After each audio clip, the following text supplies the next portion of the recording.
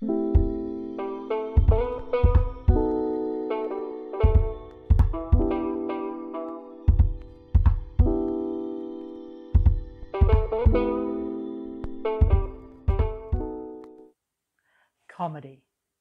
Now, as I mentioned, otherwise known as Pig, is its book about bullying and it's a book that makes no attempts to hide the horror and the viciousness of what it feels like to be bullied.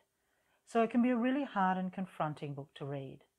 And I've tried to use comedy in the book to make it more bearable, and also because it's one of Morgan, the main character's main coping strategies and how he deals with the horror of his life. Now, the first way comedy is used in this book is comic relief. Now, a lot of you have or will study the play Macbeth. And in the play Macbeth, you have a scene, colloquially known as the porter's scene, where a porter comes on, makes a lot of rude and satirical comments about pieces of firewood, and then, in fact, um, has a comic scene with Macduff. Now, done properly, and I've seen it done properly, that scene is rip roaringly funny.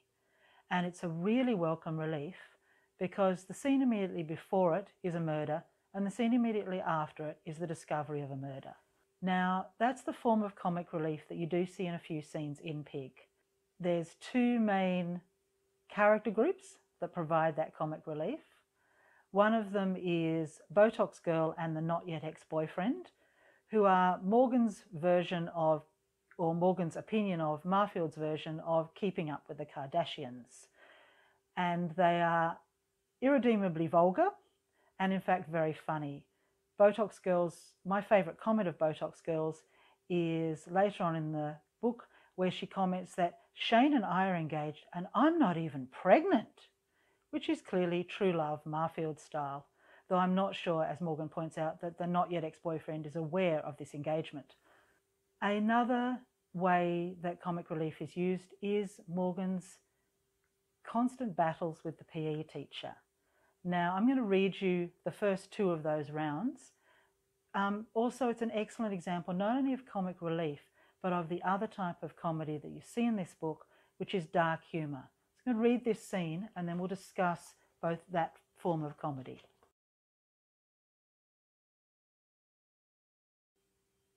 Chapter 2 Mum me read out the horoscopes while she was cooking breakfast. Mine said I was going to have a positive and productive day. People who write horoscopes are lying bastards. The PE teacher is the same one as last year. Summer hasn't improved his attitude, or mine, come to think of it. This could be a problem as I have four PE lessons a week. Catch the ball, Lohdi.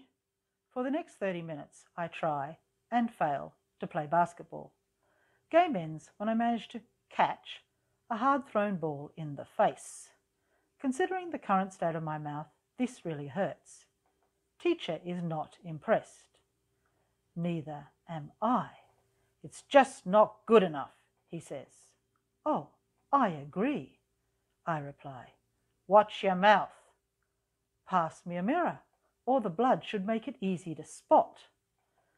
Don't be smart, Lohdi. Yes, sir, I say.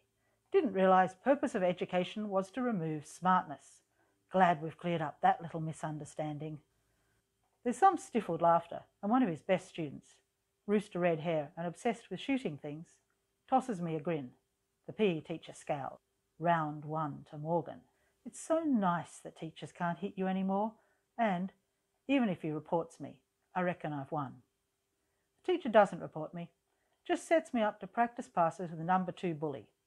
He's about Stormin's height, build, and disposition, and I think he resents his number two rating. Round two to the PE teacher.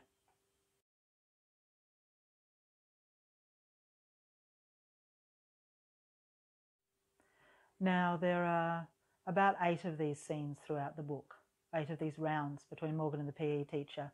Some of them are completely comic, some of them are, in fact, very dark, and a number of them are like this one, a mixture of the two.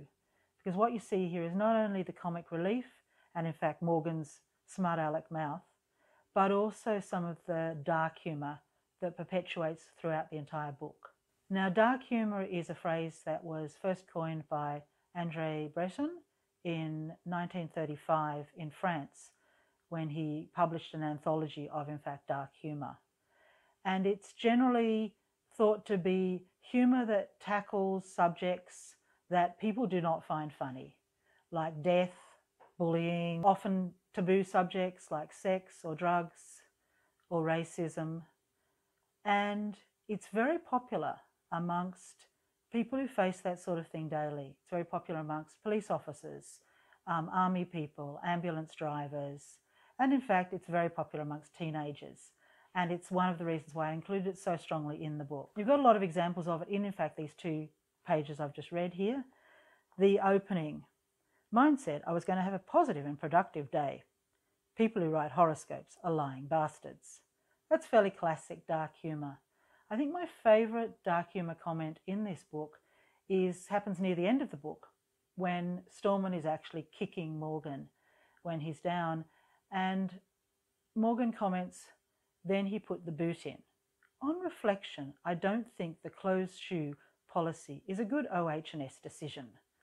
And that's really classic dark humour. It takes something horrible and puts a twist on it to make it funny without actually lessening the horror of it. And one of the reasons I use this through the story is because it gives a lightness, even if that lightness is very much tinged with darkness, to what's happening to Morgan. And Morgan himself uses it. He actually says so. Stormin's been beating him up. And Morgan comments, would have thrown up, I think, except that I missed breakfast. Good thing my sister nicked all the Pop Tarts. And yes, making stupid like jokes like that does help, because it gave me something to think about, apart from the fact I was slumped against a locker in the space between two buildings, while students carefully walked on the other side of the path. So Morgan's aware of the situation he's in, and he's using humour to deal with it, both internally and externally.